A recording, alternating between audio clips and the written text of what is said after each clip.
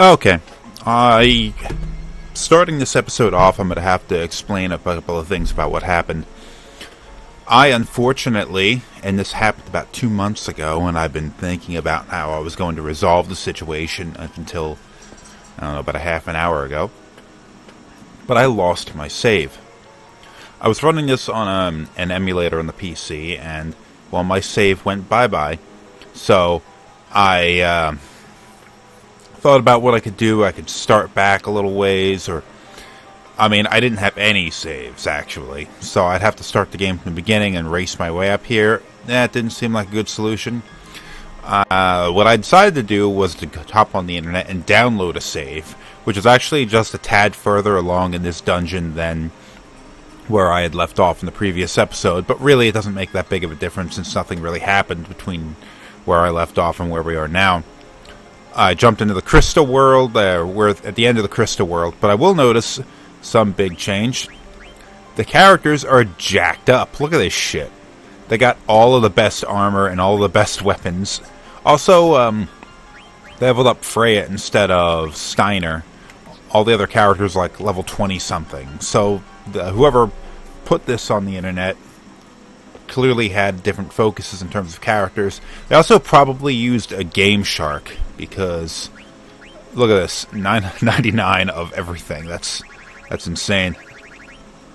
And it's not even possible so somebody clearly used a game shark. So i mean i'm it's not my ideal solution but it's the only way i can do it. It's either this or i, I just wasn't going to end up finishing this series so right up here we're going to go and jump through this little portal here and we're going to go fight kuja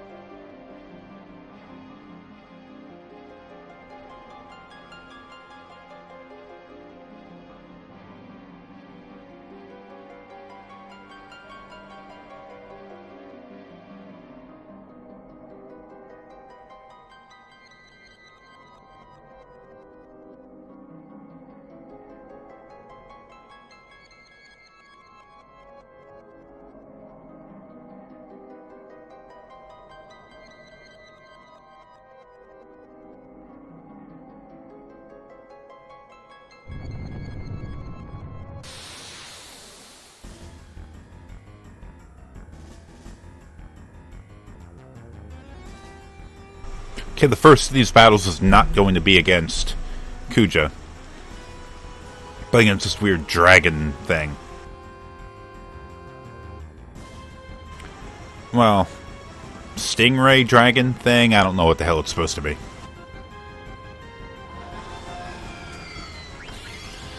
Alright, so let's kill this damn thing.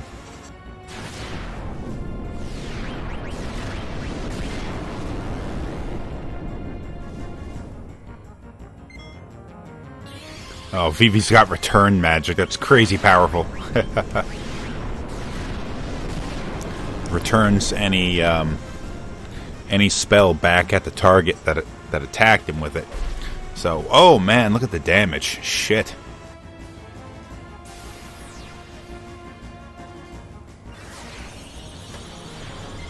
Just to recap, because it's actually been a little while since I was playing this game. So, or actually, it was something that had commonly happened happened repeatedly during my playthrough. I went and I would I would fall off the, the wagon or whatever, and I wouldn't play the game for like a few weeks or months even. So this uh, this journey of making this um, this series has taken me a long time. and it's happened a number of times where I've stopped playing, and this re- most recent time was only because I lost my save, because I was so close to the end of the game. But just to get to the point of what I'm trying to say is I might repeat a couple of things that I said in previous episodes. So anyway, just to sort of have a recap of where we are in the world, uh, Kuja has discovered that his life was short. I'm not quite sure how old Kuja was supposed to be. I guess it was like somewhere in 20s or 30 something years old. And he was intended to be the sort of like facilitator of sort of Terra absorbing Gaia. And that uh, he wasn't like trusted. Like you, you can't create something like that with such a such an evil purpose or something like that and give it free reign to run a, run around on its own. Oh, he's alive. so Garland went and sort of pre-programmed into his DNA that he will not live forever. He will die eventually and it's actually pretty soon, apparently. So Kuja's like, well, if I'm gonna die, then the world's gonna fricking die with me. So he went and found this original crystal, which I guess is sort of like the center of the universe or some shit. And he plans to. Damn it, stop killing Zidane. oh, okay, that missed. So we got to stop him. But apparently, even if we do, even if we do stop him, then I mean, Gaia's probably doomed anyway because Terra's still gonna absorb Gaia. But I mean, it's better to allow that to happen and let the rest of the universe live than let Kuja destroy it.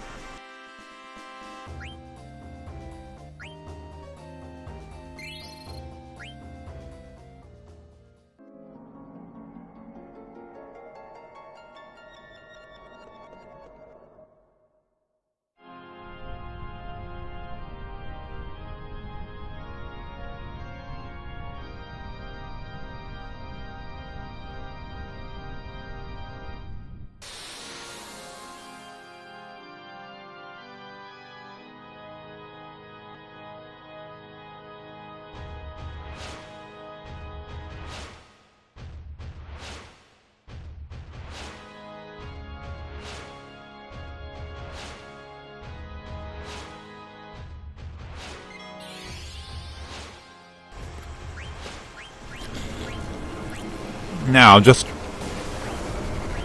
How's this? Just trying to remember how this fight went. This fight was always a little bit of a disappointment, I think. I mean, Kuja's there. He's sort of floating above the party, sort of like the way Sephiroth did in his fight, but in 7, but I don't know. In comparison, he's a little bit of an underwhelming little bit of an underwhelming enemy. At least in terms of as like a pure physical threat. The reality was the majority of the game was spent with us not really getting a good idea of what Kuja was capable of. And then the only like the only real hint we eventually got was that like him and his white dragons killed the queen and took over Bahamut and all that. But then again, it was really just like the Invincible and Garland that was doing that stuff. So, I don't know what what were we really um, fighting against. Then eventually he trances and he fucks up the city in in Terra. So I guess I mean there was that, but that was after he had tranced, and even then, like, sure he's going to destroy the universe, but I mean it's not just by a sure act of power that he's going to do it.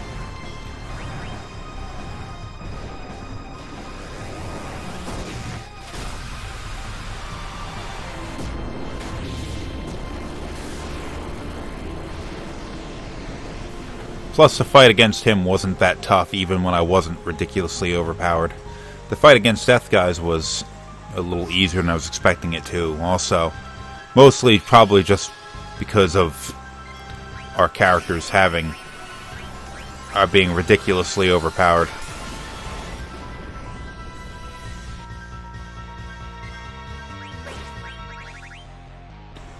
Music isn't too bad, but it's not. Hmm.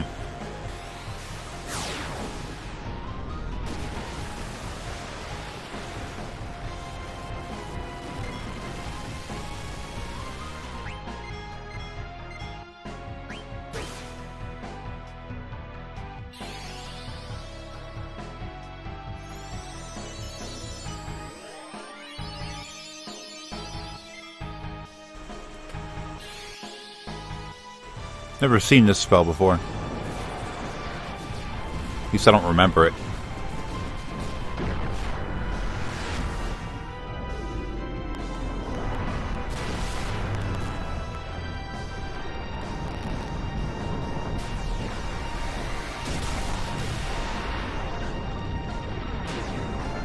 The hell?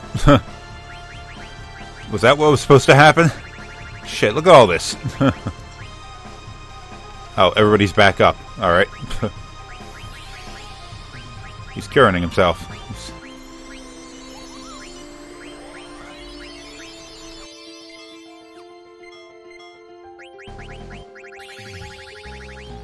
Don't kill everyone, damn it.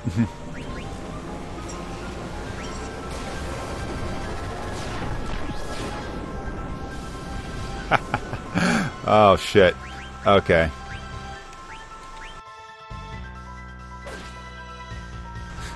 that that doomsday spell just did a lot of damage to everybody. That was funny.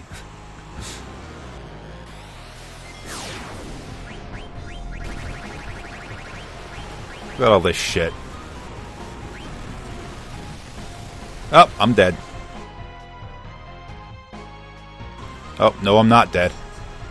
Okay.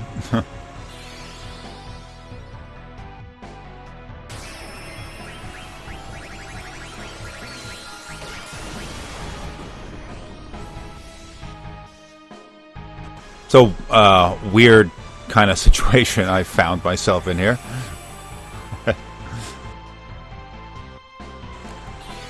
Probably should have thought this out a little bit more. I mean, I did see all of the arrows appearing over every character. Should have figured that it was going to hit everyone.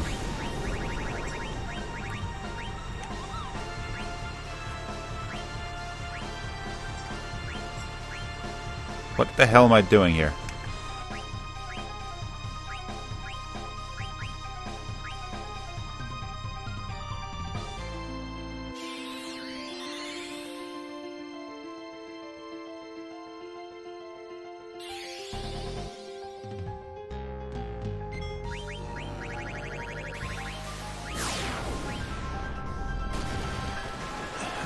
Man, am I gonna get caught up in this weird little cycle of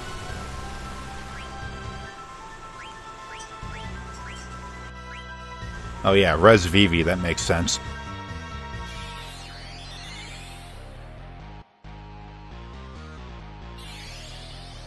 Oh, well, okay.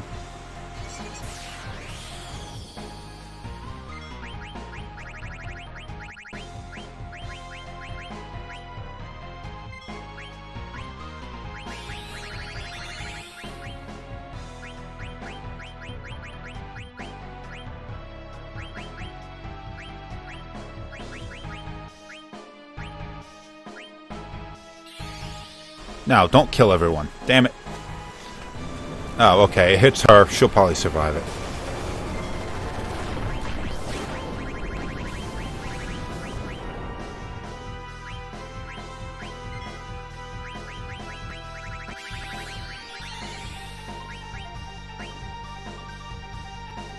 Okay, I'm finally recovering. that was a stupid move.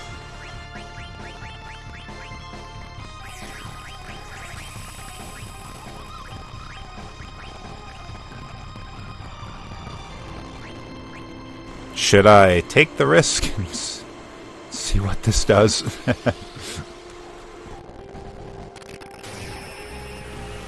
the audio is getting a little messed up.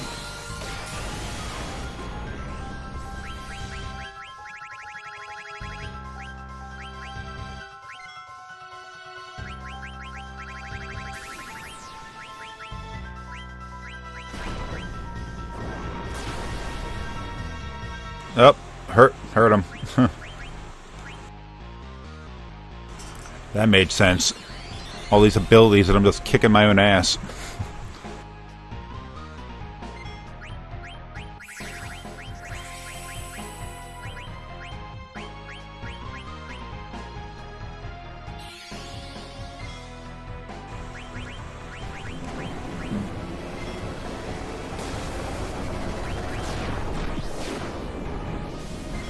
Finally, let's get back to attacking now. I can't do it with Vivi because freaking Kuja has a damn barrier up.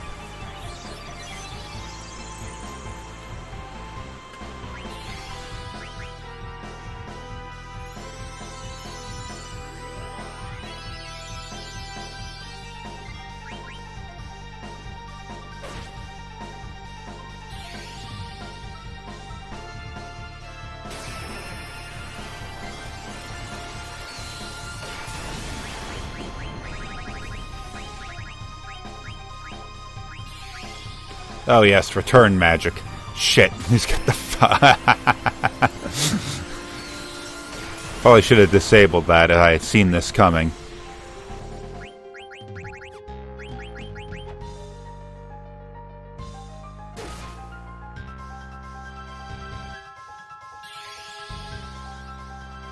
Your attacks all take too damn long.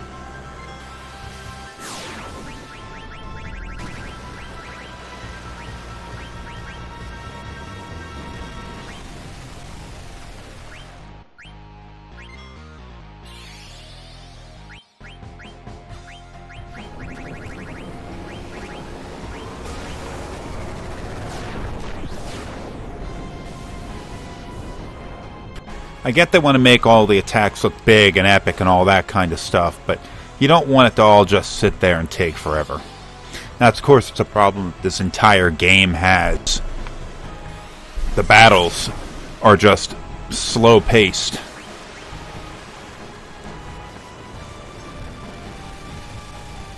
Oh my god, enough of that shit.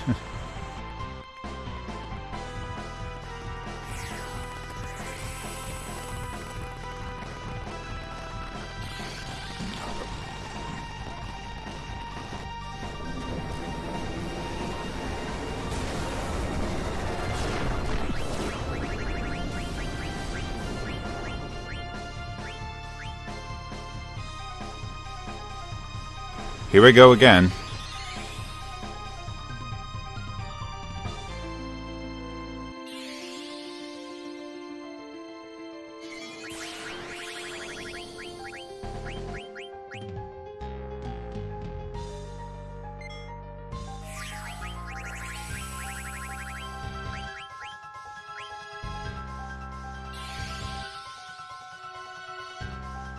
Yeah, it's especially bad in this because seemingly every every attack that Kuja throws our way is just a sort of long animation thing.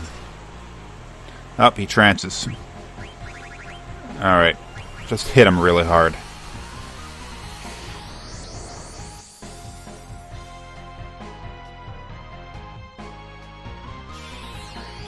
Oh wait, that's not going to reflect, is it?